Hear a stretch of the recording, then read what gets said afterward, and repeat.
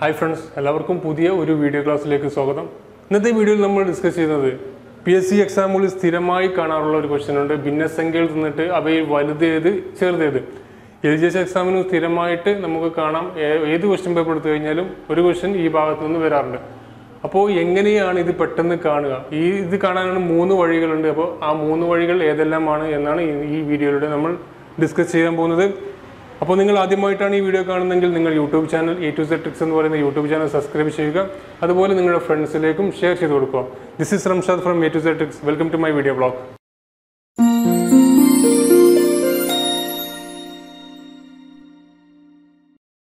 question ആണ് അഞ്ച് by ആറ് ഒന്ന് ബൈ രണ്ട് ഏഴ് ബൈ ഒമ്പത് ഒന്ന് ബൈ നാല്. ഇവയിൽ വലുതേത്? അഞ്ച് ബൈ ആറ് ഒന്ന് ബൈ രണ്ട് ഏഴ് ബൈ ഒമ്പത് ഒന്ന് ബൈ നാല്. ഇവയിൽ അപ്പോൾ ഈ ഒരു ക്വസ്റ്റ്യൻ വെച്ചിട്ട് തന്നെ നമുക്ക് മൂന്ന് രീതിയിൽ എങ്ങനെ ചെയ്യാമെന്ന് നോക്കാം. ഫസ്റ്റത്തെ രീതി എന്ന് പറഞ്ഞാൽ ആദ്യം ഇത്തരം ഒന്നിൽ കൂടുതൽ രണ്ടിൽ കൂടുതൽ സംഖ്യകൾ തന്നാൽ ഭിന്ന സംഖ്യകൾ തന്നാൽ നമ്മൾ അത് ഛേദങ്ങളുടെ എൽ സി എം ലസാഗു കണ്ടതിന് ശേഷം ഇതിനുകൊണ്ട് മൾട്ടിപ്പിൾ ചെയ്ത് കഴിഞ്ഞാൽ അതിൽ ഏതാണ് വലുത്? ആ സംഖ്യ തന്നെയായിരിക്കും ഇവിടെ ഭിന്നസംഖ്യകൾ വലുത്. അപ്പോൾ നമുക്ക് എങ്ങനെ ചെയ്യുമെന്ന് നോക്കാം. ഇവിടെ ഛേദങ്ങൾ എന്ന് പറഞ്ഞാൽ ആറ് രണ്ട് ഒമ്പത് നാല്.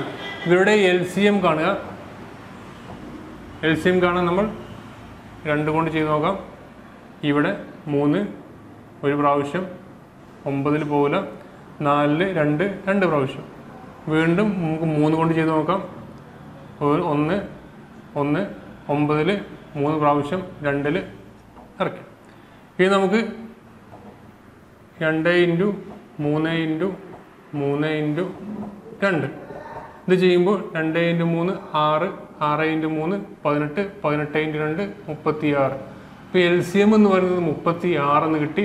ഇനി നമുക്ക് ഈ എൽ സി എമ്മിനെ കൊണ്ട് ഈ ഒരു ഭിന്നസംഖ്യകൾ ഗുണിച്ച് നോക്കാം. ഗുണിക്കുമ്പോൾ ഏതാണ് വലുത് നമുക്ക് നോക്കാം.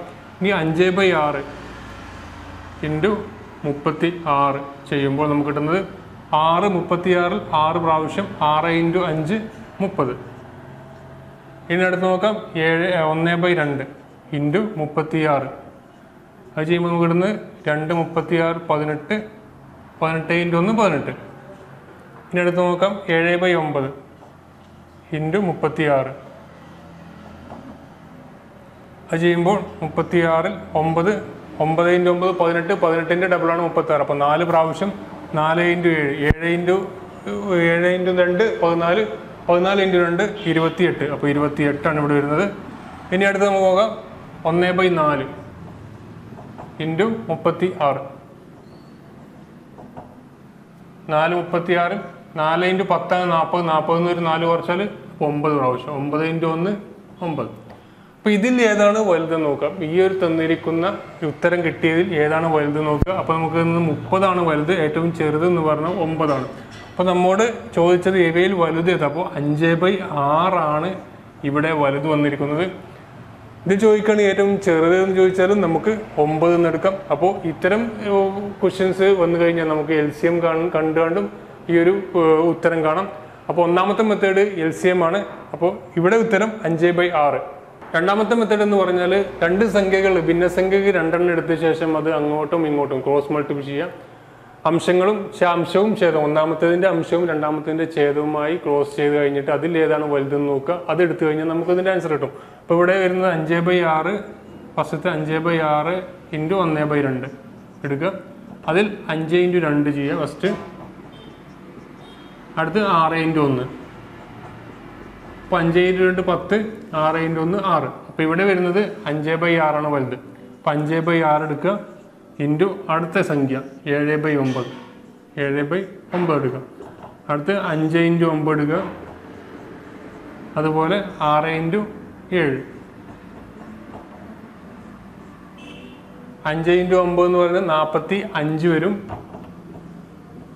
അതുപോലെ ആറ് ഇന്റു ഏഴ് ആറ്. ആറ് ഇന്റു ആറ് മുപ്പത്തി ആറാണ് പ്ലസ് ആറ് നാൽപ്പത്തി രണ്ട്. അപ്പോൾ ഇവിടെ വലുത് വീണ്ടും അഞ്ച് ബൈ ആറാണ് ഇവിടെ വലുത്. വീണ്ടും അഞ്ച് ബൈ ആറ് എടുക്കുക. ഇന്റു അടുത്ത സംഖ്യയായ ഒന്ന് ബൈ നാല്. അത് ചെയ്യുമ്പോൾ അഞ്ച് ഇന്റു നാല് ചെയ്യാം. അത് വരുന്നത് അതുപോലെ ആറ് ഇന്റു ഒന്ന്. അഞ്ച് ഇന്റു നാല് വരുന്നത് ഇരുപതാണ്. അതുപോലെ ആറ് ഇന്റു ഒന്ന് ആറ്. അപ്പോഴും ഇവിടെയും വലുത് അഞ്ച് ബൈ ആറാണ്.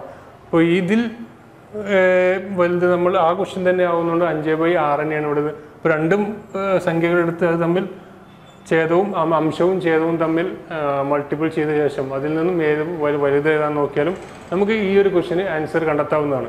അപ്പോൾ ഇവിടെ അഞ്ച് ബൈ ആറ് തന്നെയാണ് ഉത്തരം. ഈ ക്വസ്റ്റ്യൻ തന്നെ മൂന്നാമത്തെ രീതിയിൽ നമ്മൾ ചെയ്യുമ്പോൾ അഞ്ച് ബൈ ആറ് ഒന്ന് ബൈ രണ്ട് ഏഴ് ബൈ ഒമ്പത് ഒന്ന് ബൈ നാല് എന്ന ക്വസ്റ്റ്യൻ നമ്മൾ മൂന്നാമത്തെ രീതിയിൽ ചെയ്യുമ്പോൾ എന്താണ് ചെയ്യേണ്ടത് നമുക്ക് നോക്കാം.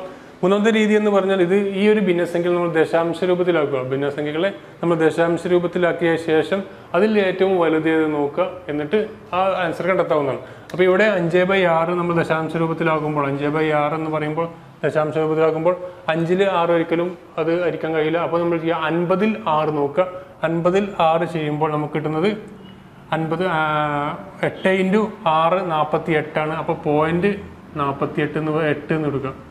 എട്ട് ഇന്റു ആറാണ് നാൽപ്പത്തി എട്ട് ബാക്കി നോക്കേണ്ട ആവശ്യമില്ല. ബാക്കി നമുക്ക് അറിയേണ്ട ആവശ്യമില്ല. ആ ഒരു ഫസ്റ്റ് ലെറ്റർ കിട്ടി കഴിഞ്ഞാൽ തന്നെ നമുക്കിതിൽ നിന്ന് വലിയ സംഖ്യ നിന്ന് കണ്ടെടുക്കാം അടുത്തത് ഒന്നേ ബൈ രണ്ട് എടുക്കുക. ഒന്നേ ബൈ രണ്ട് പത്തിൽ രണ്ട് എത്ര പ്രാവശ്യം നോക്കുക? പത്ത് രണ്ട് എത്ര പ്രാവശ്യം? അഞ്ച് പ്രാവശ്യമാണ് പത്തിൽ അതുപോലെ അടുത്തത് ഏഴ് ബൈ ഒമ്പത്. ഏഴ് ബൈ ഒമ്പത് എന്നുള്ളതിൽ എഴുപതിൽ ഒമ്പത് എത്ര പ്രാവശ്യം നോക്കുക? അപ്പോൾ ഏഴ് ഇന്റു ഒമ്പതാണ് അറുപത്തി മൂന്ന് വരുന്നത്. അപ്പോൾ പോയിന്റ് ഏഴ് വരും.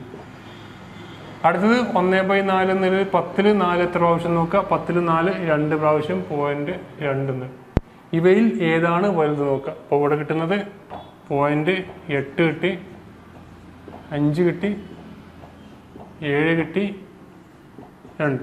ഇവയിൽ ഏറ്റവും വലുത് നമുക്ക് കിട്ടുന്നത് പോയിന്റ് എട്ടാണ് അപ്പോൾ ഇവിടെ ആൻസർ വരുന്നത് അഞ്ച് ബൈ ആറ്. അപ്പോൾ ഈ രീതിയിലും നമുക്ക് ഈ ക്വസ്റ്റ്യൻ ചെയ്യാവുന്നതാണ്. അപ്പോൾ ഏത് രീതിയിലാണ് നിങ്ങൾക്ക് ഏറ്റവും ഉചിതം നോക്കുക? ആ രീതിയിൽ ചെയ്യുക.